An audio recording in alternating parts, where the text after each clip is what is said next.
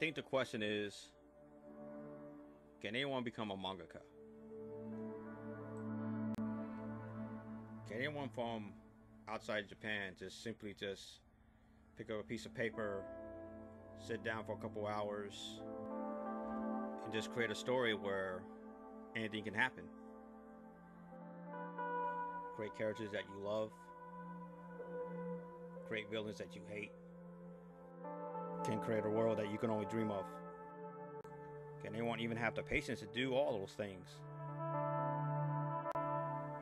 Whether you're working on a novel, comic book, a video game, TV series, movies, even manga, it isn't easy.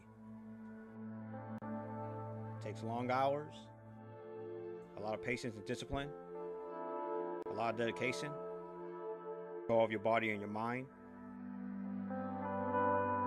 It takes a lot of sacrifices just to do the thing you love the most.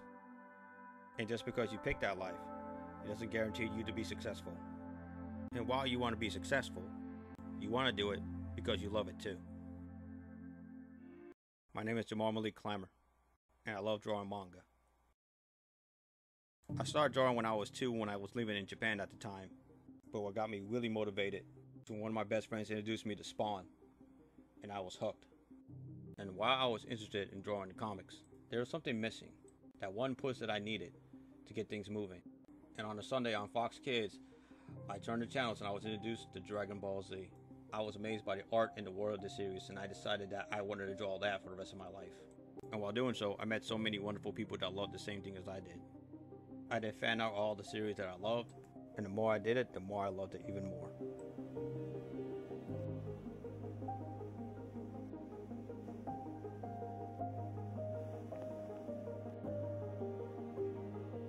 But I also want to create my own series as well.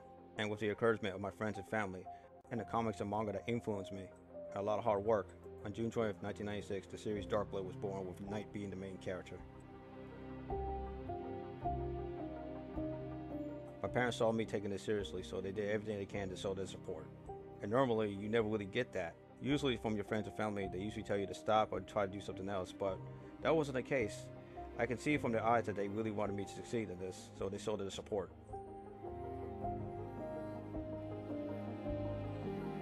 This is the very first manga that I owned that my father bought me, and it really meant so much to me. I was able to learn so much from this. And it wasn't just only that manga, there was so many more that helped me on my way of becoming a mangaka. These three series made me want to become a better artist and a better storyteller. A long time ago, I submitted my one shot to Tokyopop. I can't remember how I found out about it, but in 2004, but it didn't matter because I couldn't wait to start. So I worked hard that way I can get published, so I could show my story to the entire world. And after a couple weeks, I was able to do it. And even though I did a whole lot of pages, colored it, while sending it to them in black and white, it was rejected and I was crushed. And at first I was sad and angry, but then I wasn't ready. I mean, when you can't even read the title on your cover page, then you know you're not ready. So I accepted that rejection. And I wanted to start over that way I get better in the future.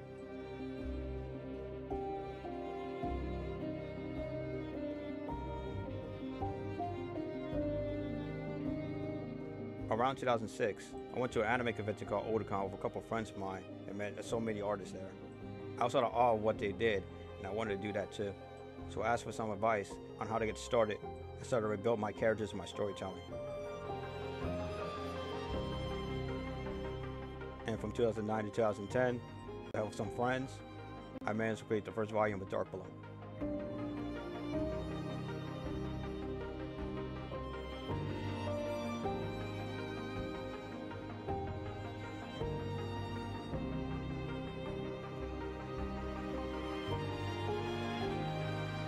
I still need to find a way to turn it into a book. A friend at the convention told me about Lulu.com, and with the help of my best friend, my manager, and my parents, I was able to find the funding for the series. Just seen all the prototypes for the books, and I have to say there was a lot of hiccups, but somehow we were able to find a way to make them right.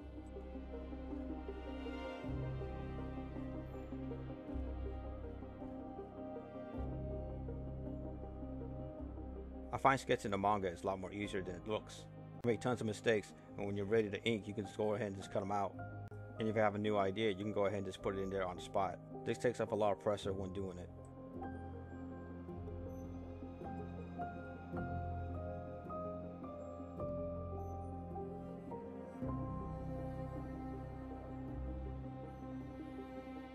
Normally you use screen tones to use for your manga, but I lack the ability to do so. But I just didn't want to leave it just black and white, so I just tried to find another way.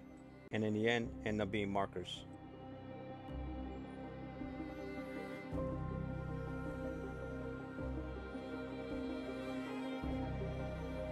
I wanted to keep it as close to a manga as I can, so I started out with gray Copic marker.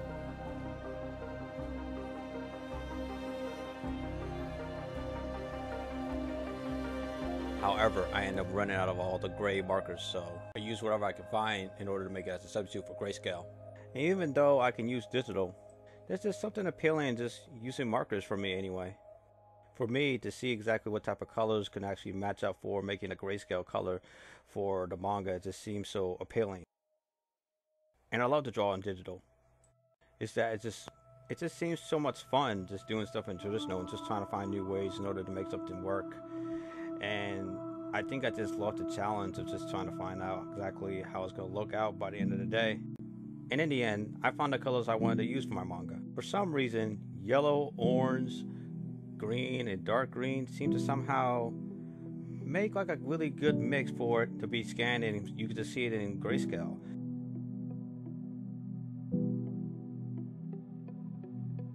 I didn't realize this until volume 2. But when I got a chance to scan it, I was like, oh my god, I just couldn't believe exactly how nice this looks. And from that point on, I decided to use these colors for my manga. And so far, it does get a little bit hard at first, but when you get used to it, you can just do anything. So with the confidence of using these colors, I started volume 3.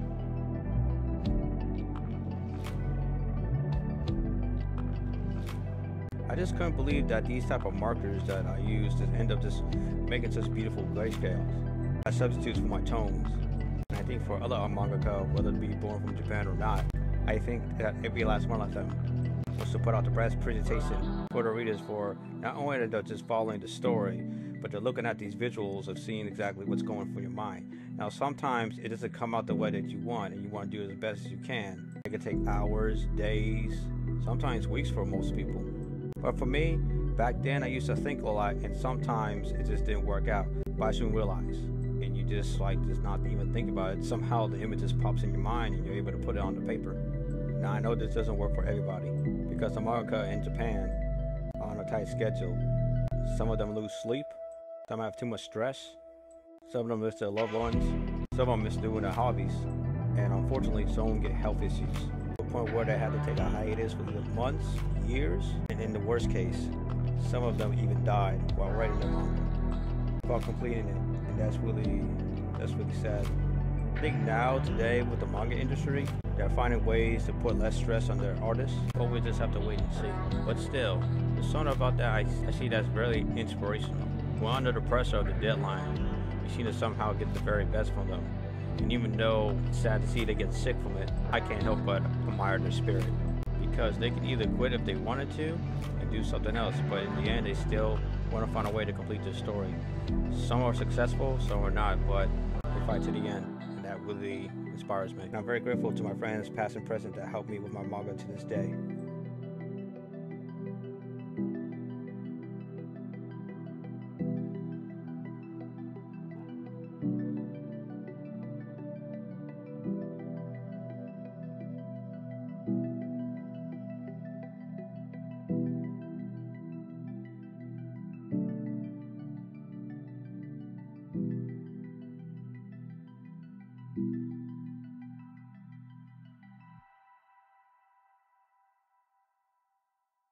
Even though I do love coloring for grayscale, there was something else that was missing. Back while I was in high school, when I was talking about making a manga, a friend of mine was asking if I was going to make it in color, and I said, yeah, sure. But doing a physical copy was just too expensive. So for a while, I kind of lost hope. But the voice in the back of my head told me that somehow I can find a way to make this in color. And at the time, I didn't know or when it was actually going to happen, but somehow last year, I found a way to do it. And that's digital because today we can share our stories and art through online. and showcase it to the entire world. Not to mention, I wanted to bring that color feeling that I love when I'm reading comic books. Always love the bold colors when I read comic books. You get a chance to see what the character looks like in color. You get a chance to read the author's points of why they chose those colors. And I wanted to show the reader what my manga looks like in color. That way they can see what I can see. But I knew it was going to be too long. Even though I love coloring, it just takes a long time just to do it. So I decided to take a chance and put all four pages on 11 by 17 paper. And at first I didn't think it was going to work, but somehow I managed to make it work. It was not a dumb luck, but somehow it, things just seem to work out when you just give it a shot. And even though, and I'm glad I did, because somehow I was able to find a way to turn this into color and make it available to the public. And I know that some manga do want to have their mangas in color, but due to the tight schedule, some are not able to. And I'm grateful that I have the time to color them and take my time while doing so. And I don't care how many pages I have to color, as long as my readers enjoy it, then I enjoy it.